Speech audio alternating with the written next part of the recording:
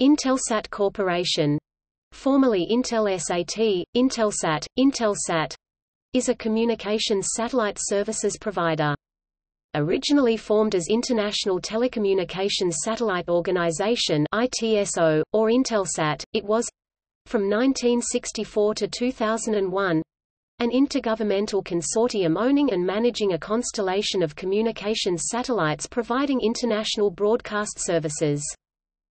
As of March 2011, Intelsat operates a fleet of 52 communications satellites, which is one of the world's largest fleet of commercial satellites.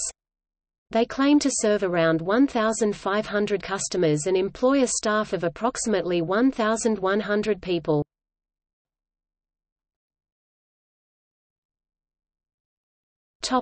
History John F. Kennedy instigated the creation of Intelsat with his speech to the United Nations on 25 September 1961. Less than a year later, John F. Kennedy signed the Communications Satellite Act of 1962. Intelsat was originally formed as International Telecommunications Satellite Organization and operated from 1964 to 2001 as an intergovernmental consortium owning and managing a constellation of communications satellites providing international broadcast services. In 2001, the international satellite market was fully commercialized, and the U.S. predominant role in Intelsat was fully privatized after 2001 as Intelsat was formed up as a private Luxembourg corporation.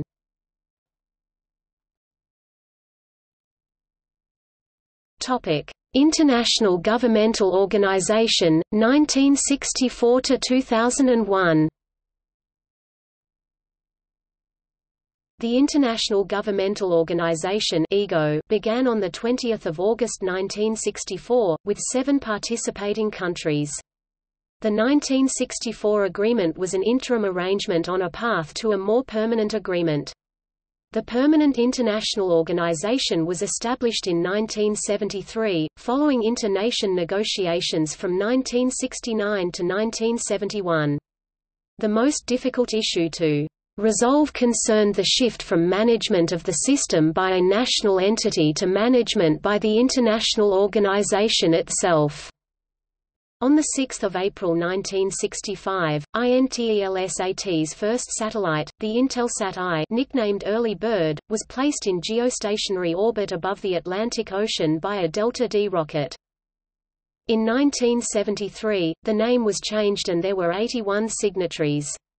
Intelsat was governed initially by two international agreements, the agreement setting forth the basic provisions and principles and structure of the organization, signed by the governments through their foreign ministries, and an operating agreement setting forth more detailed financial and technical provisions and signed by the governments or their designated telecommunications entities. In most cases the latter are the ministries of communications of the party countries, but in the case of the United States, was the Communications Satellite Corporation COMSAT, a private corporation established by federal legislation to represent the U.S. in international governance for the global communication satellite system. Intelsat at that time directly owned and managed a global communications satellite system, and structurally consisted of three parts, the Assembly of Parties meeting every two years and concerned with aspects primarily of interest to the parties as sovereign states, with each country having one vote.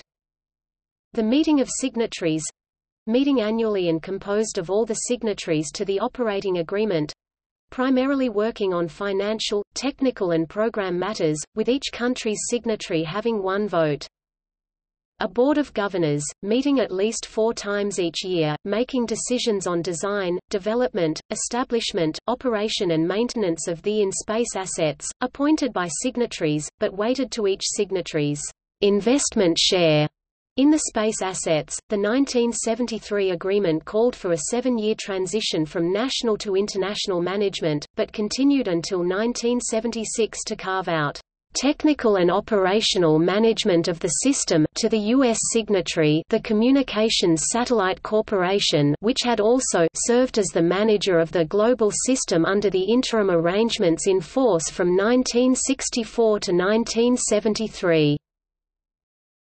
Later phases of the transition resulted in full international governance by 1980.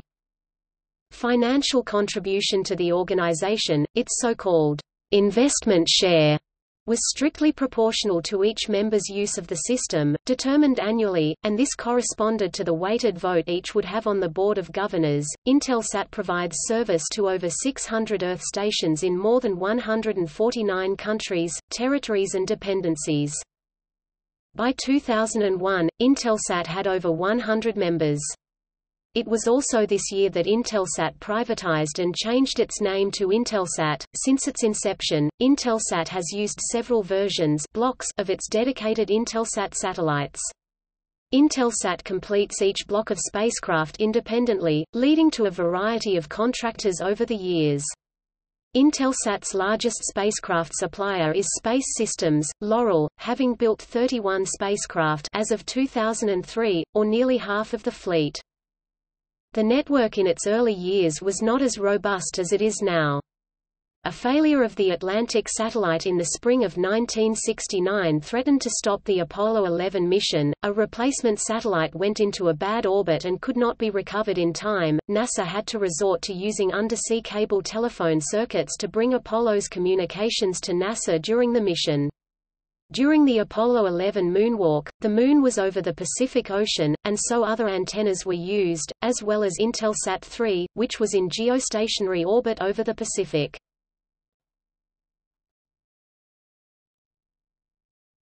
Topic: Commercialization. By the 1990s, building and launching satellites was no longer exclusively a government domain and as country-specific telecommunications systems were privatized, several private satellite operators arose to meet the growing demand. In the U.S., satellite operators such as Panamsat, Orion Communications, Columbia Communications, Iridium, Globalstar, TRW and others formed under the umbrella of the Alliance for Competitive International Satellite Services to press for an end to the IGOs and the monopoly position of COMSAT the U.S. signatory to Intelsat and Inmarsat. In March 2001, the U.S. Congress passed the Open Market Reorganization for the Betterment of International Telecommunications Orbit Act to privatize COMSAT and reform the role of the international organizations. In April 1998, to address U.S. government concerns about market power, Intelsat's senior management spun off five of its older satellites to a private Dutch entity, New Skies Satellites, which became a direct competitor to Intelsat. To avert the U.S. government's interference with Intelsat, Intelsat's senior management unsuccessfully considered relocating the IGO to another country.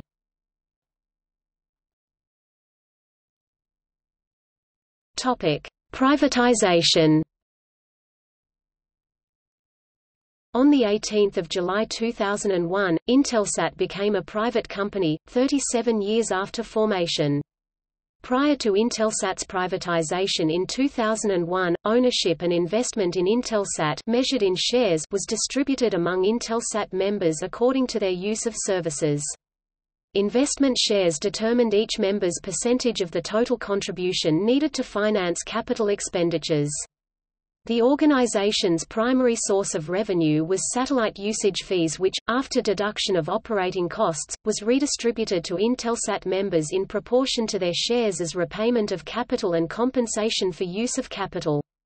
Satellite services were available to any organization, both Intelsat members and non-members, and all users paid the same rates. Today, the number of Intelsat satellites, as well as ocean-spanning fiber optic lines, allows rapid rerouting of traffic when one satellite fails.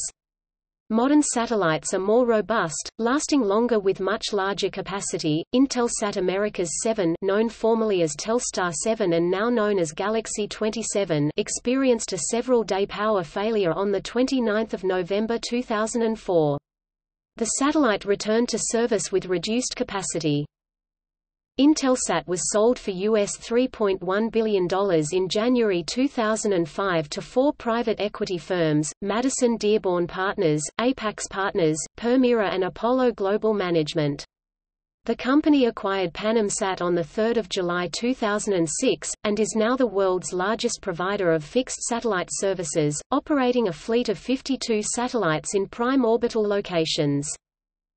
In June 2007 BC Partners announced they had acquired 76% of Intelsat for about €3.75 billion. Euros. BC Partners has since sold all their share and Intelsat is a standalone company.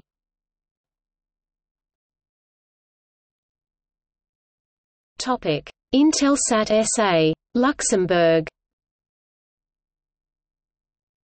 In April 2013, the renamed Intelsat SA undertook an initial public offering on the New York Stock Exchange, raising a net $550 million USD, of which $492 million was paid immediately to reduce outstanding company debts of $15.9 billion USD. In May, the company announced it would be purchasing four new high-performance Boeing EpicNG 702 MP satellites. There were talks that Intelsat was to merge with SoftBank-backed OneWeb. However, on 1 June 2017 it was announced that the bondholders would not accept the offer and the merger would be terminated as of 2 June 2017. In 2015 Intelsat reincorporated in Delaware and became Intelsat Corporation.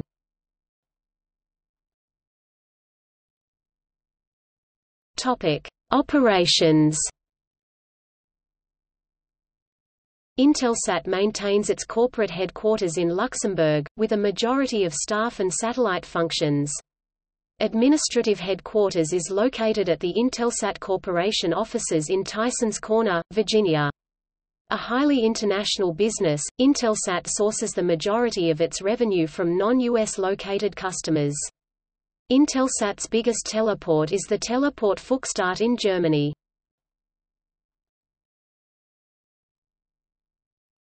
Topic: In Space Refueling Demonstration Project.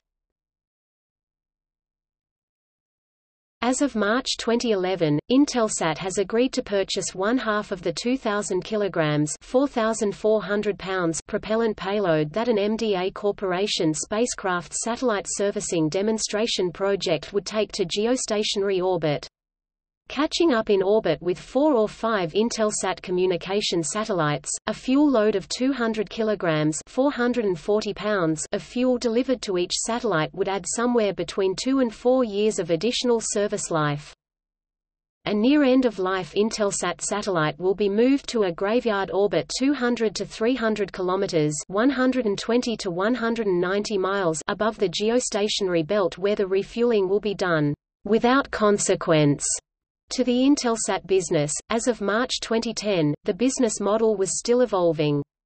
MDA could ask customers to pay per kilogram of fuel successfully added to each satellite, with the per kilogram price being a function of the additional revenue the operator can expect to generate from the spacecraft's extended operational life. The plan is that the fuel depot vehicle would maneuver to several satellites, dock at the target satellite's apogee kick motor, remove a small part of the target spacecraft's thermal protection blanket, connect to a fuel pressure line and deliver the propellant. MDA officials estimate the docking maneuver would take the communications satellite out of service for about 20 minutes.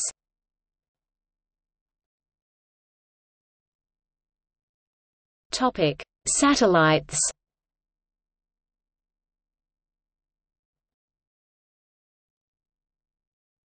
Topic: Renaming. On February 1, 2007, Intelsat changed the names of 16 of its satellites formerly known under the Intelsat Americas and PanamSat brands to Galaxy and Intelsat, respectively.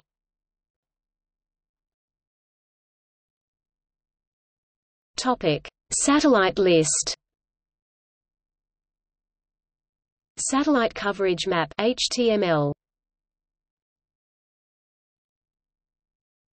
Topic: Launch vehicles. Over time, Intelsat has worked with most of the commercial launch services providers worldwide. Their satellites are often among the most massive of their generation, requiring the most powerful and reliable rockets on the market at a given time. In the 21st century, most Intelsat missions were conducted by Arianespace with the European Ariane 4 and Ariane 5 launches, and by ILS with Proton K and Proton M rockets manufactured by Khrunichev in Russia. Intelsat also took advantage of the Equatorial Sea launch offering with Zenit 3SL rockets launched from the Ocean Odyssey floating platform, until they suspended operations in 2014.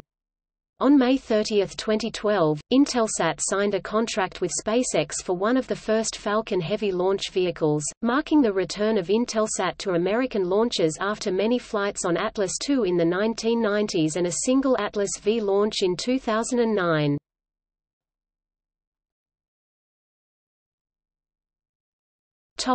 See also COMSAT Eutelsat Inmarsat Intelsat 708 Intelsat Americas. Intersputnik SES S. A